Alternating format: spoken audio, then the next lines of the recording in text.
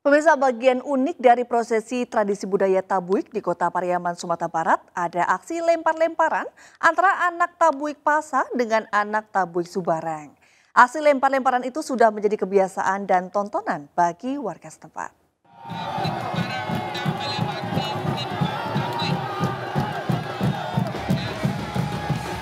Lempar-lemparan dan kejar-kejaran ratusan warga yang terjadi di Simpang Tapui, Kota Pariaman, Sumatera Barat.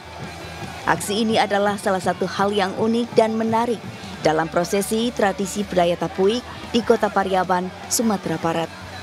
Dua kelompok anak Tapuik Pasa dan anak Tapuik Subarak bertemu pada satu titik, tepatnya di Simpang Tapuik.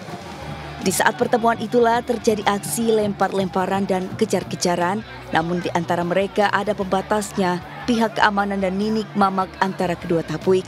Bertemunya kedua anak tapuik itu diistilahkan dengan basalisi. Acara basalisi itu salah satu prosesi yang ditunggu warga setempat. Ini melawan, saling uh, bertentangan.